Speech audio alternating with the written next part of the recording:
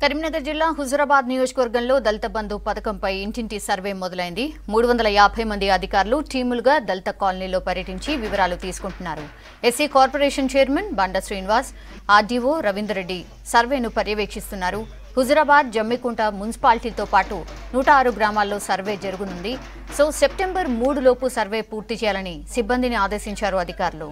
ఒక్కో special officer రోజుకు ముప్పై నుంచి యాభై ఇళ్ళను సర్వే చేస్తారని చెప్పారు RDO. Tiles business plus auto trolley మీ సారు మీరు మాట్లాడుకోలేదా?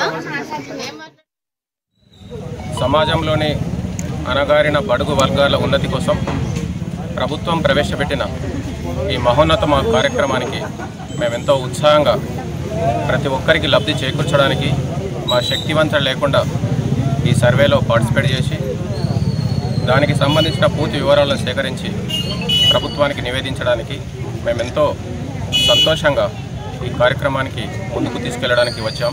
సర్వేను పూర్తి చేయడానికి రెవెన్యూ డివిజన్ పరిధిలోని ఈ హుజురాబాద్ కాన్స్టిట్యున్సీలో ఒక నూట ముప్పై మంది స్పెషల్ ఆఫీసర్స్ అపాయింట్ చేయడం జరిగింది. దీనికి క్లస్టర్ ఆఫీసర్స్గా డిస్టిక్ స్థాయి ఆఫీసర్స్ను ఒక ముప్పై మందిని అపాయింట్ చేయడం జరిగింది. వీళ్ళకు సపోర్టింగ్ స్టాఫ్గా నూట ముప్పై మందిని. వీళ్ళతో పాటు బ్యాంకింగ్ వాళ్ళు కూడా ప్రతి బ్యాంక్ నుంచి కూడా సరిపోయేంత స్టాఫ్ను కూడా ఇచ్చారు. చాలామంది అధికారులు ఇందులో నిమగ్నమవుతున్నారు. గత నాలుగు ఐదు రోజుల నుంచి ప్రతి అధికారికి కూడా ఎటువంటి బాధ్యత చేయాలి అనే దాని మీద స్పష్టమైన శిక్షణ కూడా ఇవ్వడం జరిగింది. క్లస్టర్ ఆఫీసర్ ఎటువంటి బాధ్యత నిర్వర్తించాలి? స్పెషల్ ఆఫీసర్ ఎటువంటి బాధ్యత నిర్వర్తించాలి? సపోర్టింగ్ స్టాఫ్ ఎటువంటి బాధ్యత నిర్వర్తించాలి? బ్యాంకు వాళ్ళు ఎటువంటి బాధ్యత నిర్వర్తించాలి అనే విషయంలో వాళ్ళకి స్పష్టమైన మేము శిక్షణ ఇవ్వడం జరిగింది. అదే కాకుండా ప్రతి ఇంటికి వెళ్ళిన తర్వాత ఎటువంటి అంశాలపైన ఎటువంటి విషయాన్ని కూడా టీమ్స్కు ఇవ్వాలన్న విషయంలో కూడా మేము ఇక్కడ ఉన్నటువంటి రిసోర్స్ పర్సన్స్తోని ప్రజాప్రతినిధులతోని లోకల్ లెవెల్ ఆఫీసర్స్తోని మేము ఒక అవగాహన కల్పిస్తున్నాం. తెలంగాణ ఉద్యమం స్టార్ట్ చేసిన విధంగానే దళిత బంధు ఉద్యమాన్ని కూడా స్టార్ట్ చేశారు.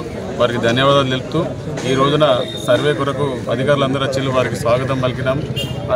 అధికారులందరూ కూడా మంచి ప్రేమతో వచ్చి మా ప్రతి ఇంటికి వచ్చి వాళ్ళు సర్వే చేస్తారు కాబట్టి వారందరూ కూడా హృదయపూర్వకంగా శుభాకాంక్షలు తెలుపుతూ వారికి అందరం కూడా మనం సహకరించి ఈ సర్వేను మంచిగా జరిగేలా చూడాలని చెప్పి కేసీఆర్ గారు చేస్తున్నటువంటి దళిత బంధు ప్రాజెక్ట్ ఏదైతే పైలట్ ప్రాజెక్టుగా హుజరాబాద్ నియోజకవర్గానికి తీసుకున్నారో వారికి ధన్యవాదాలు తెలుపుతూ ఈ హుజరాబాద్లో ఉండేటువంటి ప్రతి ఒక్కరికి కూడా పది లక్షల రూపాయలు వచ్చే విధంగా వారు చూస్తూ ఉన్నారు.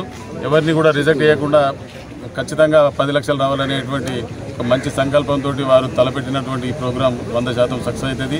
దానికి గాను రెండు వేల కోట్ల రూపాయలు ఆల్రెడీ కరీంనగర్ కలెక్టర్ గారు అకౌంట్లో వేసి ఉన్నారు కాబట్టి అందరికి కూడా వస్తాయి. మీరందరూ కూడా అధికారులకు సహకరించాలని చెప్పి ఈ సందర్భంగా మనం